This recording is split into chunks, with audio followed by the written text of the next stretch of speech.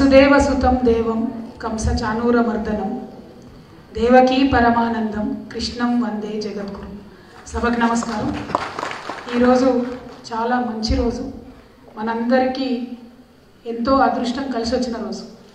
ఎందుకంటే మామూలుగానే గీతా జయంతి నాడు కొన్నన్నా కనీసం గీతలో నుండి శ్లోకాలు చదువుకోవాలి అని చెప్తారు. కానీ అందరికీ అందుబాటులో లేదు ఉన్నా చదివిన అర్థం కానటువంటి గీతలోని సూక్ష్మమైనటువంటి అంశాలను ఆధ్యాత్మిక సంబంధమైనటువంటి అంశాలను వివరించి చెప్పడానికి ఇక్కడ పెద్దలు పరమ పూజలు బ్రహ్మశ్రీ గరికపాటి నరసింహారావు గారి చేత మనం ఇవాళ గీత వినడం అన్నది చాలా చాలా గొప్ప అదృష్టంగా నేను భావిస్తాను.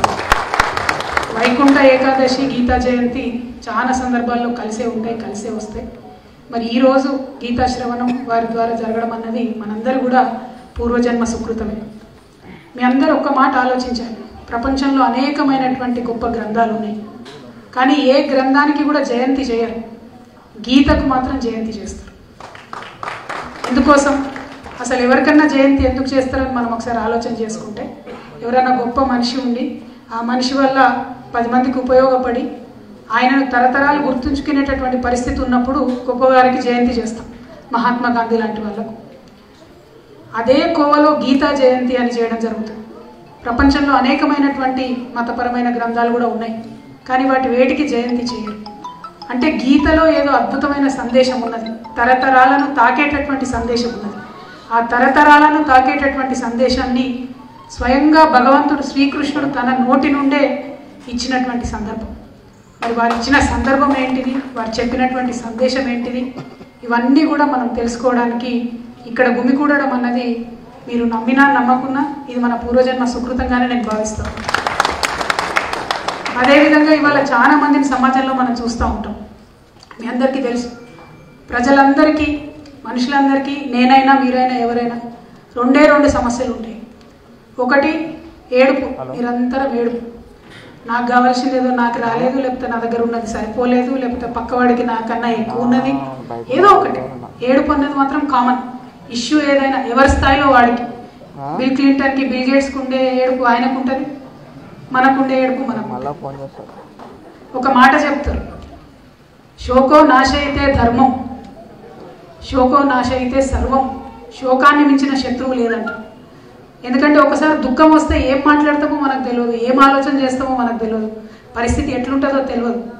అంత గొప్ప అర్జునుడు ఆయన పుట్టినప్పుడు ఒక ఒక్క సంవత్సర కాలం పాండురాజు తపస్సు చేస్తే పుట్టినటువంటి వ్యక్తి. ధర్మరాజు తర్వాత పుట్టిండు. అంటే ధర్మం పుట్టిన తర్వాత అర్జునుడు పుట్టిండు. ఆయన అంశ పునికి పుచ్చుకొని పుట్టిండు. కానీ అటువంటి అర్జునుడు కూడా శోకం ఆవహించినప్పుడు ఆగమాగం అయిపోయాడు. ఏం అర్థం కాలేదు ఆయనకు. గాంధీవన్ జారిపోయింది కింద పడిపోయాడు చెతికిల పడిపోయాడు మహావీరుడు. అంటే అర్జునుడి పరిస్థితి అట్లుంటే శోకం వస్తే మనలాంటి వాళ్ళ పరిస్థితి ఎట్లుండాలి? అంటే శోకం వచ్చింది అంటే దాన్ని దూరం చేసుకోవాలి దాన్ని మార్గం వెతుక్కోవాలి. ఆ మార్గం ఏంటిది అంటే గీతను అధ్యయనం చేయడం అన్నదే ఒకటే మార్గం అని చెప్తారు. గీతను అధ్యయనం చేసి శోకాన్ని దూరం చేసుకుంటే చాలా ముందుకు వెళ్ళేటటువంటి అవకాశం ఉంటుంది. చిన్న చిన్న అంశాలు నెగిటివ్ అంశాలు మనం వదిలించుకుంటే ఎంత మార్పు వస్తుంది అనేటటువంటిది మనమే గమనిస్తుంటాం అప్పుడప్పుడు. వేరే ఏవో ఎందుకండి? ఒక్క పది రోజులు కరెక్ట్గా పొద్దున్న లేచి వాకింగ్ చేస్తే మనది మనకే మంచిగా అనిపిస్తుంది. కానీ రోజు చేస్తామంటే చెయ్యం. మళ్ళీ ఏదో ఒకటి ఏదో ఒకటి అవుతుంది అట్లనే అలవాట్లు కూడా అంతే జరుగుతుంది అదేవిధంగా మనందరికీ తెలుసు. మనకు భారతదేశానికి పాశ్చాత్య దేశాలకు ఒక చిన్న డిఫరెన్స్ ఉంటుంది. వాళ్ళు ఎంతసేపు ఏమనుకుంటారంటే ఇప్పుడే జీవితం ఇక్కడే జీవితం ఈ క్షణమే జీవితం. ఏదున్నా ఈ క్షణమే ఈ జీవితమే అనుకుంటారు. కానీ మన నమ్మకం ఏంటి? ఇంతటితోనే అయిపోలేదు జీవితం. ఇంకా ఏదో ఉన్నది. అనేటటువంటి సందేశం గీతలో భగవంతుడు నిరూపణ చేసి చూపిస్తాడు. ఇవాళ మనం ఒక పని చేస్తే అది ఉట్టిగా పోదు దాని యొక్క ఫలితం ఉంటుంది ఎక్కడో ఒక చోట అనేటటువంటి అంశం చెప్తారు. దానివల్ల ఏం జరుగుతుంది? సామాజికంగా నేను ఒక పొలిటీషియన్ మీకు ఒక చిన్న ఎగ్జాంపుల్ చెప్తాను. అమెరికా దేశంలో ఏడు లక్షల మందికి ఒక పోలీస్ ఆఫీసర్ ఉంటాడు.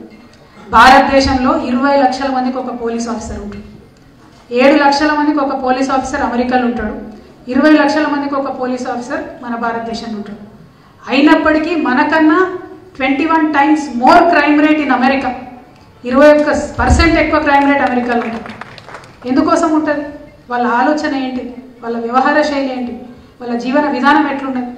మనకు సనాతన ధర్మం నేర్పించినటువంటి ఆ పద్ధతులు సాంప్రదాయబద్ధంగా వారసత్వంగా మనకు వచ్చినటువంటి ఆ జ్ఞానం ఏదో చిన్న కథనో పిట్ట కథనో నానమ్మ చెప్పిన కథనో అమ్మమ్మ చెప్పిన కథనో అది కంపల్సరీ ఎక్కడో దగ్గర రామాయణం నుంచో భారతం నుంచో గీతలో ఉన్నటువంటి ఏదో ఒక అంశం నుంచో మనకు జీర్ణమైపోయింది మన రక్తంలో మనం అదృష్టవంతులం.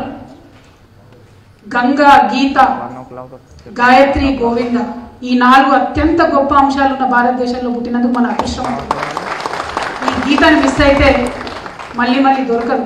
ఖచ్చితంగా గీత అధ్యయనం జరగాలి. అది కేవలం సంవత్సరానికి ఒక రోజు కాకుండా సంవత్సరంలో నిరంతరం జరుగుతూ ఉండాలి. ప్రతి ఒక్క స్థాయిలో ఉన్నటువంటి వ్యక్తి. అది విద్యార్థి కావచ్చు గృహిణి కావచ్చు పాలిటిషియన్ కావచ్చు పోలీస్ ఆఫీసర్ కావచ్చు ప్రతి ఒక్కరం కూడా చదువుకోవాల్సినటువంటి గ్రంథం గీత. మరి అటువంటి అద్భుతమైనటువంటి గీతా ప్రవచనంలో ఇలా మనం భాగం అవుతా ఉన్నాం. మీ అందరికీ తెలుసు గంగలో పోయి మునకేస్తే చేసిన పాపాలు పోతాయంటారు కానీ ఆయన మళ్ళా పాపాలు చేయడం గ్యారంటీ ఏమి ఉండదు. కానీ గీతామృతంలో మునిగినటువంటి వ్యక్తి జీవిత సత్యాన్ని తెలుసుకొని తాను మారడమే కాకుండా సమాజం మొత్తానికి కూడా ఉపయోగకరంగా ఉండేటటువంటి వ్యక్తిగా తయారవుతాడని అనేక మంది నిరూపించున్నారు. ఆ దారిలో పయనించడానికి ఈ రోజు నాంది అవ్వాలని చెప్పి మనస్ఫూర్తిగా కోరుకుంటూ ఈ కార్యక్రమానికి కర్త కర్మ క్రియ అయినటువంటి కళా జనార్దన మూర్తి గారికి ప్రత్యేకించి ధన్యవాదాలు. మీరు చేస్తున్నటువంటి సేవ అపారమైనది అద్భుతమైనది. దాంట్లో ఉడత భక్తిగా మా వంతు మేము కూడా సహకారం అందిస్తామని చెప్పి సభాముఖంగా మేము ఈరోజు తెలియజేస్తాము అదేవిధంగా అన్న ముఠా గోపాలన్న గారు స్థానిక శాసనసభ్యులు ఉన్నారు. అయాచితం శ్రీధర్ గారు ఉన్నారు. జనార్దన్ మూర్తి గారి మిస్సెస్ ఉన్నారు. మన నగేష్ గారు నరేష్ గారు ఇద్దరు ఉన్నారు. అదేవిధంగా దేవిశ్రీ అన్న పాపం దగ్గరుండి ఈ కార్యక్రమం జరగాలి. ఈ కార్యక్రమం ఒక్క రోజుతో నాగొద్దు. సంవత్సర కాలం కొనసాగాలి. ప్రతి మూడు నెలలకు ఏదో ఒక కార్యక్రమం చేద్దాం. హైదరాబాదే కాదు జిల్లాలలో కూడా ఈ కార్యక్రమం జరగాలని చెప్పి సూచన చేసి మరి దాన్ని ఈ కార్యక్రమాన్ని రియలైజ్ అయ్యేటట్టు చేసినటువంటి దేవి అన్న గారికి. అదేవిధంగా ఈ కార్యక్రమం మీద ఇంట్రెస్ట్తో వచ్చినటువంటి మీ అందరికీ కూడా నమస్కారాలు తెలియజేస్తూ మరొకసారి వైకుంఠ ఏకాదశి శుభాకాంక్షలు గీతా జయంతి శుభాకాంక్షలు.